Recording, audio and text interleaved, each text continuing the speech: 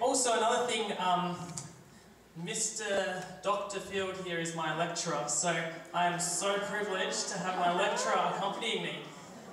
Um, so, yes. And hasn't Mr. Field done such a good job setting all of this up too? I think he deserves another round of applause already.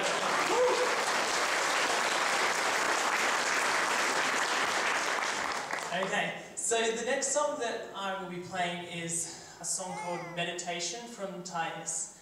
And this song is sort of, from, it's from the 1800s, so it was in the time of war and sort of the, around Napoleonic times, so it's quite, I sort of think about sort of like it's, you're on a ship and it starts out placid, but then you get into rough seas and then you end with the sunset, so here we go.